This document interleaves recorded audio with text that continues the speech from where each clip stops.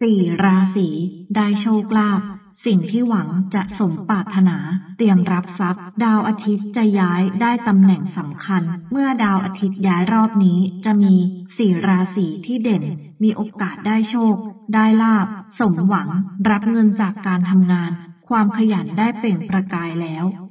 ก่อนจะไปรับฟังว่ามีราศีอะไรบ้าง ให้กดไลค์กดแชร์ให้ด้วยนะคะ อย่างไรก็ตามคำทำนายดังกล่าวถือว่าเป็นเรื่องความเชื่อ เป็นเรื่องส่วนบุคคล โปรดใช้วิจารณญาณในการรับข้อมูลค่ะสี่ราศีได้โชคลาภได้แก่ ราศีสิงห์ผู้ที่เกิดวันที่ 15 สิงหาคมถึง 16 กันยายน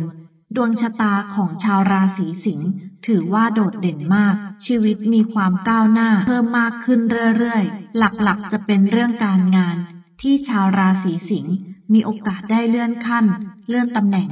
สิ่งที่หวังไว้จะได้สมใจปรารถนา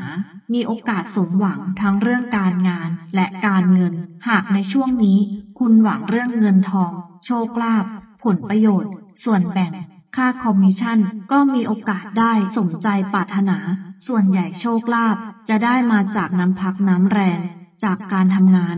หรือการทำอาชีพเสริม ราศีพิจิกผู้ที่เกิดวันที่ 16 พฤศจิกายนถึง 15 ธันวาคม ชาวราศีพิจิกเป็นอีกหนึ่งราศีที่ดวงเด่นเด่นทั้งการงานและการเงิน แต่หลักๆ เรื่องงานจะมาแรง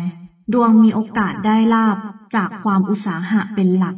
ยิ่งขยันในช่วงนี้ก็ยิ่งมีโอกาสได้เงิน ได้ทองเยอะมากขึ้น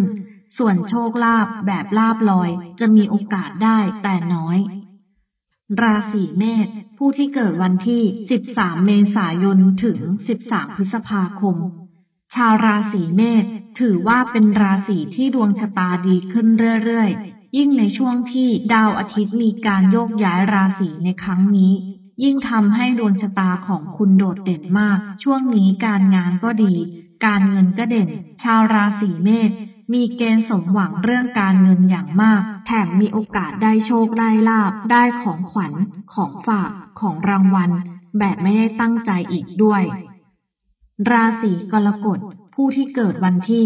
15 กรกฎาคมถึง 16 สิงหาคม ถ้าถามว่าราศีไหนมีโอกาสได้ลาบมากที่สุด หลังจากที่ดาวอาทิตย์โยกย้ายราศีบอกเลยว่า ราศีผู้โชคดีอันดับที่หนึ่งนั้นก็คือ ชาวราศีกรกฎ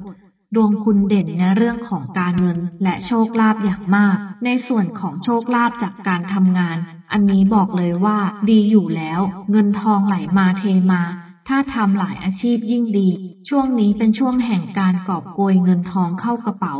ส่วนโชคลาภที่เป็นลาบลอย อันนี้มีลุ้นมากๆ หากที่ผ่านมาเคยทำบุญมาเยอะมีโอกาสได้ลาบก้อนใหญ่แบบเกินความคาดหมาย หากตรงกับราศีท่านใดให้คอมเมนต์เพื่อเปิดรับดวงได้เลยค่ะ